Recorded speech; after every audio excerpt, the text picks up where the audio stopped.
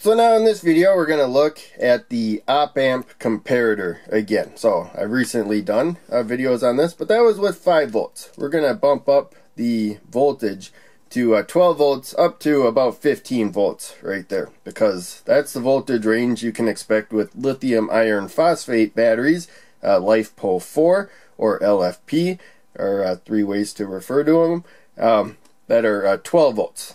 They're actually 12 volts when they're basically completely discharged. You can go a little bit lower than that, but you might as well stop at 12 volts. And then when you apply a charger, you can get up to uh, 14.6 volts with the chargers. And then when you uh, remove the charger, it's going to go right to about 13.6. That's fully charged. But uh, giving it a higher voltage than its fully charged voltage um, packs some more uh, stored energy into it. So in any case, um, we still have a uh, voltage divider here that gives you half of the supply voltage.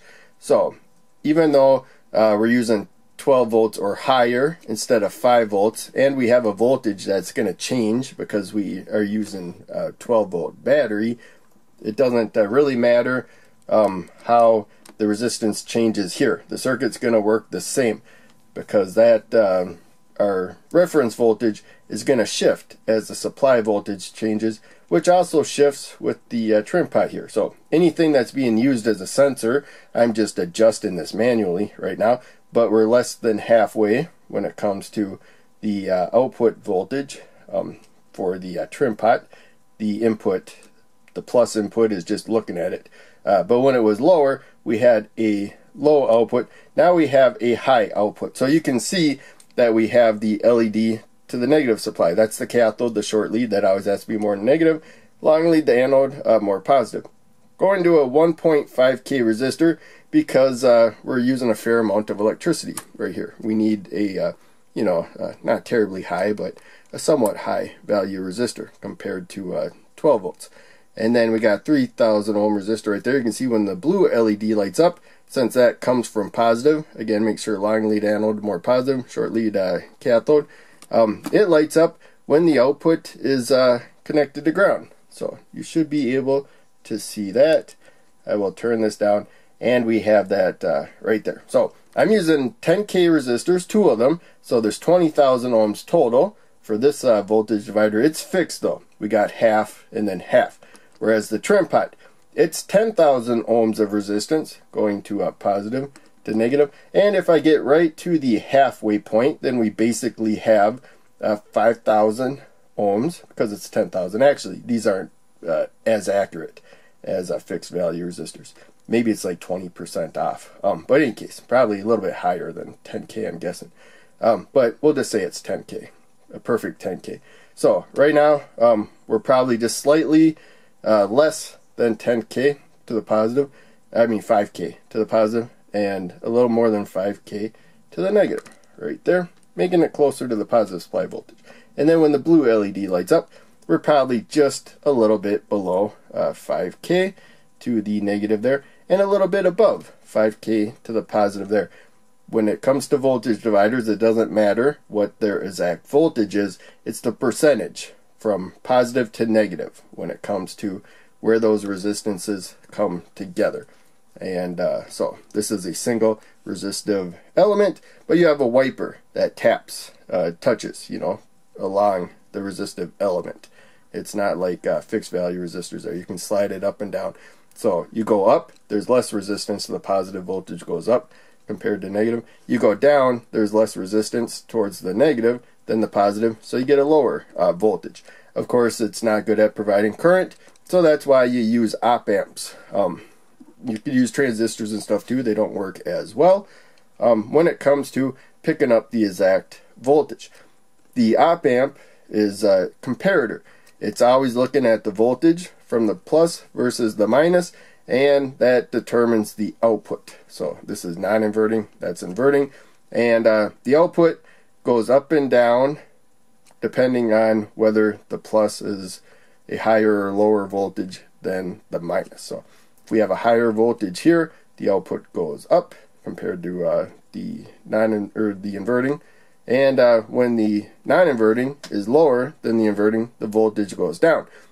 Right now, it goes to its maximums because there's no like feedback to ever equalize the voltages. If this one's higher, it's always going to be higher than that one because there's no feedback. And so we'll have a high output. Um, but it does go through some transistors, so we don't get the full supply voltage. Also, it cannot provide, you know, a ton of current. That kind of throws it off too. Um, when we get lower here, then we have a connection to ground, and the blue LED lights up. Uh, without a load, it does connect to ground um, really well. You get zero volts. But even with uh, this, you know, pretty light load right there from earlier videos using 5 volts, I got, you know, uh, I think it was about a volt and a half off or so. It fell, you know, it was like uh, either one volt at the output or one and a half. But if we don't have a load, then it will drop down to zero volt. Hopefully that makes sense. Here is the uh, pin layout uh, for those just looking at op amps uh, for this uh, first time. So LM358 has two op amps. That means it's a dual op amp right there. You have to power it. Positive supply top right and a negative supply top left. We're not using this one on the right here. And uh, so pretty sure the best thing to do uh, if you are going to make this a permanent circuit, is uh, connect the plus to ground and then the negative to the output. That'll make it a voltage follower where it holds the output to ground. Otherwise, we got like stray signals and stuff that can make it go haywire. Um, but uh, I never have problems uh, just leaving it floating either. So uh, other integrated circuits, I do run into that problem. So again, I uh, covered this component uh, quite a bit uh, with 5 volts. Things don't really change uh, that much with a higher voltage. We could go up to 32 volts with a single supply and uh, it, with the dual supply the numbers are in half. That's because ground isn't actually the negative voltage. We could have like 12 volts positive, 12 volts negative, and then ground would be a halfway point. I'm just kind of using this as a halfway point there.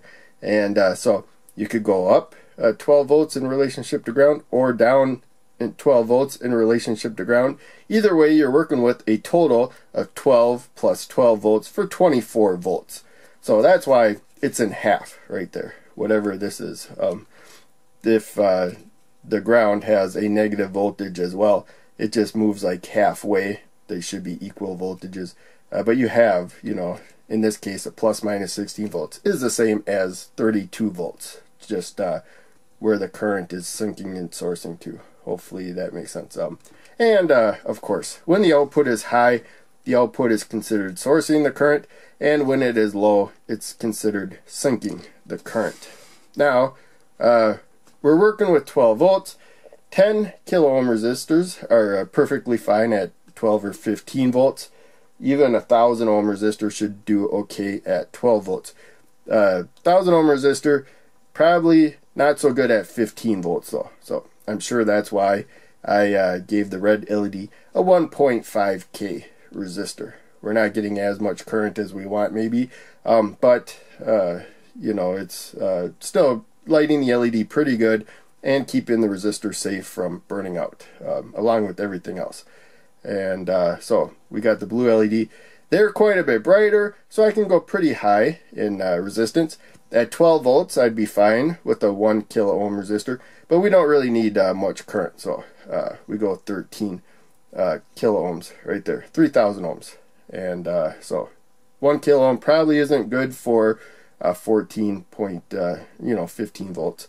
we could use a 1.5k but uh, blue LEDs are brighter, plus it connects to ground better. So um, I don't know if I showed, I don't think I showed the uh, voltage. So we have, uh, the LEDs will get a little bit brighter if we go up in voltage, uh, but otherwise the circuit works the same. So since uh, we got fixed value resistors there, the uh, reference voltage, I'm going to go right to about where this flips back and forth, right there. I can like wiggle it back and forth. So this will be Let's go down a little bit. I don't know why, but we'll go up to 15 volts right there. And uh, we'll see that uh, it's still that same exact spot. So blue LED means I just got to go up a spec for like the red. And uh, there we go. So shouldn't have really moved at all. Although these may not be, you know, perfectly equal or whatnot. So I may have shifted like slightly. But for the most part, our point right here is uh, the same where it will flip, whether it's 15 or 12. And I realize electronics are uh, never perfect. Um, you know, you might get like slight drift and stuff where somebody says it will be in the exact same spot. But, uh, you know, I think that may have happened here. But that may have been the same spot too. I just couldn't tell. Uh, but in any case, no big deal. I hope uh, that makes sense. And uh, there's the uh, schematic. So, uh, gonna end it there. Make sure you check out one of the other videos I'm posting on the screen and check out the links down below. They all help out a lot. I'll see you in the next video.